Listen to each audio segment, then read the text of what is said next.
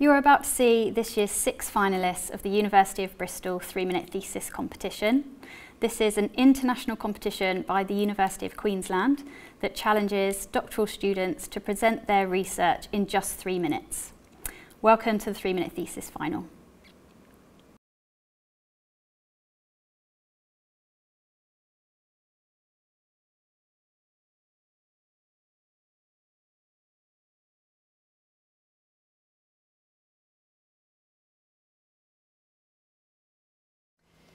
When I started as a curator of sculpture at one of the world's top museums of art, I was so excited to walk amongst the greatest artists that have ever lived. But after a while, something became clear to me. I was a woman working in a curatorial team made up entirely of other amazing women, all passionate about the history of sculpture. And yet, in the galleries that I walked around daily, like this one, all I could see were sculptures by men. I couldn't see a version of myself in the history that I curated. I thought, where are all the women sculptors? My research specifically looks at women sculptors from 1660 to 1837. It's these women who are particularly underrepresented in our museums.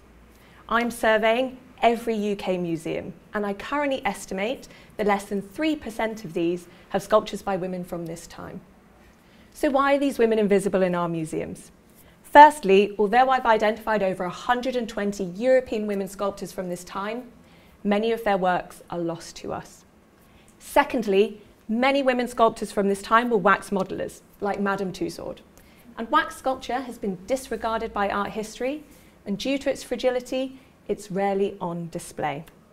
So what can museums do to improve the situation? Yes, they have to start collecting and displaying sculptures by these women, but they have to do more than that. Because inserting women sculptors into our current museum displays amounts to giving them a small seat at a male-dominated table. What museums need to do is change the way they view sculpture, abandoning the enduring image of Michelangelo, hammer and chisel in hand, hacking away at the marble, and understanding that sculpture comes in all shapes and sizes, and it's all valuable. Sculpture by historic women might be smaller and made in softer materials like wax, but that doesn't make it less important, because part of its importance lies in the fact that it shows women today that their ancestors were creative and talented people too. That sculpture never has been solely the preserve of men. It's my dream that one day I can take my niece Blair to a museum and show her all the amazing women sculptors who existed in history, so that she might understand women are more than just the subjects of sculpture, but they are the makers of sculpture too. Thank you.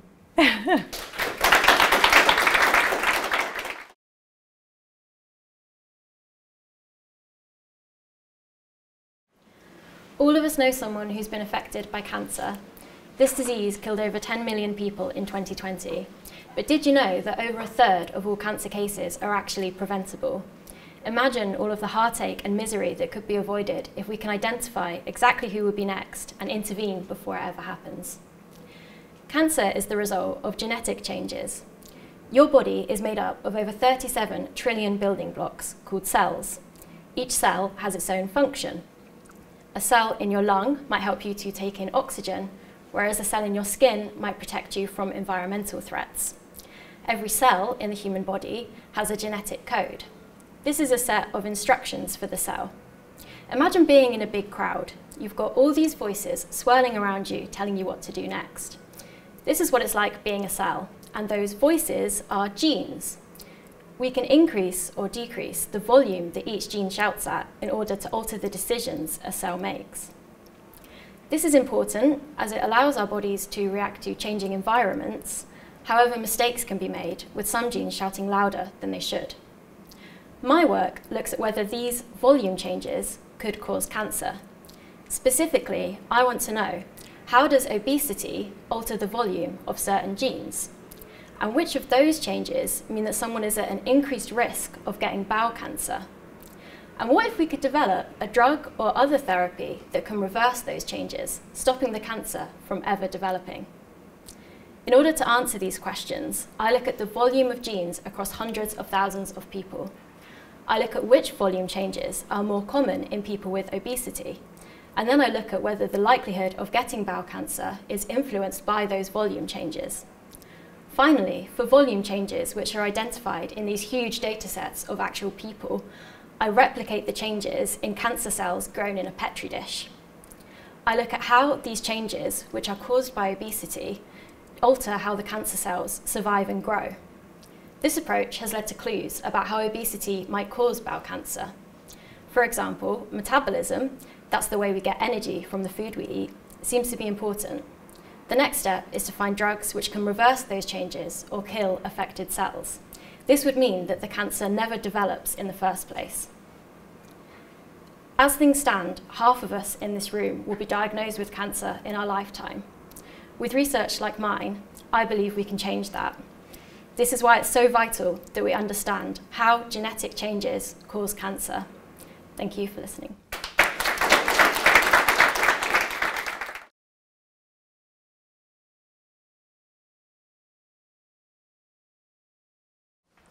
In 2009, after months of job searches and tens of interviews, Jessica, a qualified civil engineer living in Nigeria, decided to start an e-commerce business selling beautiful, sustainable bowls made from coconut shells. These bowls were a craft she had learned to make during the holidays as a way to pass the time. This business would go on to be worth over a million dollars, and all she had when she started was just a laptop and an internet connection. Five years later, she would be on the Forbes Africa 30 under 30 list and be named by the Times as one of the most important women and influential women in Africa. But more importantly, Jessica had liberated her family economically. You see, e-commerce businesses continue to grow rapidly in Africa, in Nigeria, and around the world. Recently, Instagram announced that there were over 25 million businesses on the platform. Women like Jessica, who would have been left to the mercy of the political and economic woes of a country like Nigeria, have found financial freedom through e-commerce businesses. My PhD is concerned with determining and examining the critical factors that enable women internet entrepreneurs in Nigeria succeed. Women internet entrepreneurs like Jessica are important and vital to the Nigerian economy. I believe that my, my PhD holds the key to finding the answer. The work I do is required because we need to be able to create systems that can be replicated across the continent and globally so that we can have more stories like Jessica's. When my findings are complete, I want to be able to say, these are the steps we need to take, not wait on luck. These are the tools we need to provide, and these are the policies we need to implement to create an enabling environment for more Jessicas to exist, for more Jessicas to thrive, to succeed and be economically independent. Looking to the future, I hope that my PhD will be adopted and adapted across the continent so that women like Jessica can be stationed at the helm of African innovation, unlike the women that lived before her, because studies continue to show that when women are empowered, all of society benefits. Thank you.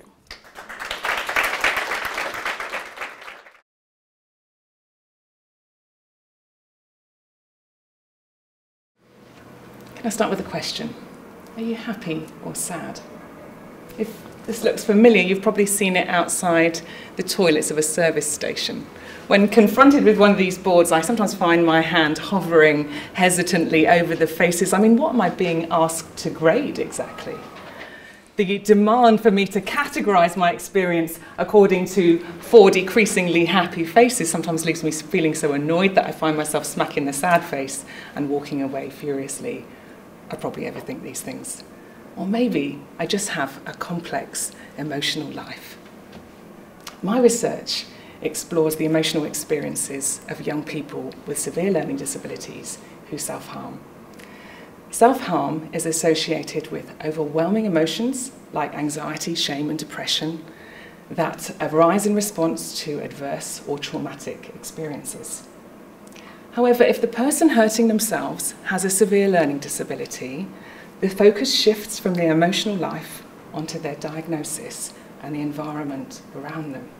In fact, the more severe a learning disability, the less likely that the person's emotional life will be considered in relation to their self-harm.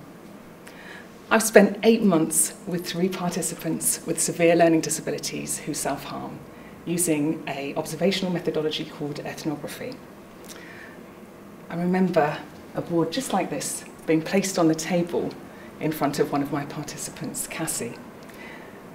Cassie has lived a life full of lost and found relationships. She's known the death of people that she loves, and she's lost things that matter to her. Sometimes she hurts herself. How do you think you did today? says the teacher. And as Cassie looks at the four faces, I think of her day so far because I've seen her frustrated and irritated being hurried out the door for her first lesson. I've seen her cheat at an activity and the joy of that quiet rebellion. I've seen a brief and beautiful intimacy between her and a staff member who responds to her with maternal affection. And I've seen jealousy rise in her in response to a peer. And now she looks at these four faces and she pauses and she taps the sad face. The teacher's a bit thrown. She says, Cassie, I think you've done really well today. And she taps the happy face. A staff member leans in. I think she's trying to tell you she's sad, she says. She turns to Cassie. Cassie, are you happy or sad?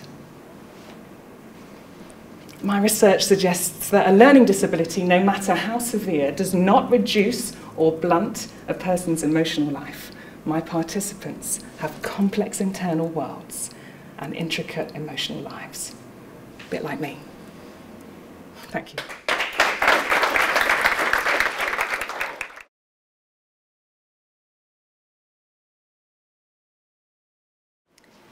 I invite you to travel with me to where I come from, far away, across the sea, in western France. We are in winter, in January, it's quite cold. We are walking in a white wood, we can hear a few birds singing in the bare trees. And suddenly, this castle appears out of the waters. You have arrived in medieval Brittany, a land full of legends and fairy tales, where marvelous stories are everywhere in the landscape. They tell us about King Arthur and his knights, fair ladies, and evil dragons. Um, now, many current works of fiction, um, like fantasy, for example, um, um, inspired by such works of fiction, oh, inspired by such stories written in the 12th century in France. Um, today, we remember some of these stories as they shape our image of the Middle Ages, filled with knights in shining armor and damsels in distress. But romances were not only telling stories about knights and damsels living in magical castles in Brittany. Uh, in the 1180s, a lesser known French author was experimenting his own aesthetics. Not much is known of him, but his works are so different from his predecessors that it could change forever our idea of literature. His name, Gautier d'Arras. Not much is known of. Oh, sorry. um, uh, if you had asked him if uh, dragons are essential to write a good story, he would have said no. If ladies should wait for their uh, lover to resolve their problems, uh, no, they are the ones that embrace adventures and rescue their lovers. This is what Galeron, one of his female characters, does, for example. Uh, in the middle of the night, she dresses up as a man, overcomes the castle's defenses, where her husband Ille is locked up, and seeks him out. My research digs up this unheard medieval author by analyzing his works and comparing it with his contemporaries. Gautier has so much to say about his time. Um, he tells us stories about self-made men that actually needed a bit of help, especially from women. He gives us clues about his contemporaries' um, conception of uh, virtue and politics, of love and faith, like no one else does in his time. My, um, my thesis wants to rescue Gautier and his unique vision from oblivion by giving him a space where we can listen because we can learn from him. Thank you.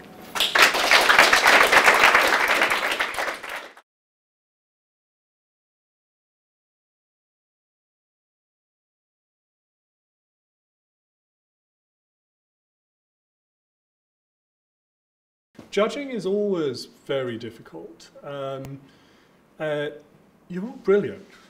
I've enjoyed this. I've enjoyed talking with my fellow judges. Thank you. And I've enjoyed chatting to everybody here today. But uh, I'll start with the runner-up, Emma. So congratulations. Uh, but we thought you did a, a really great job in communicating uh, some, I'm a historian, some really difficult concepts in a way that worked, but which did not um, betray, did not abandon the technical side of, of what you're doing. So congratulations, our, our runner-up. Um, our winner, um, I'm, I'm afraid to say, I think I have to say, stole the show from uh, the very first words. Um, Sophie, congratulations. Um, it was um, passionate, uh, engaged. You drew us into that gallery that you showed us, um, and you showed us what was missing from it uh, as well. Um, tremendous uh, delivery, uh, wonderful telling use of, of detail. Um, the 3% point was, was, was very effective. Um, and uh, you've convinced me, at least amongst the six, that Madame Tussaud was a sculptor. And I'd never expected to, to have to think like that before. And I think that's, that's really uh, a very effective uh, presentation of, of the work. So, congratulations. and again, congratulations to you all. Uh, I know you, you might be thinking, yeah, right, well, he, he has to say that sort of thing. It's, it's the form. But I do genuinely mean it, all six of you, that was really fascinating, really interesting. Um, we've got feedback for you all, um, constructive uh, in all sorts of ways, even, even the winner, even the, the runner-up. We have uh, things to tell you that we, we hope could be of, of value as you take things forward. So, but, uh, but thank you very much and well done. Okay.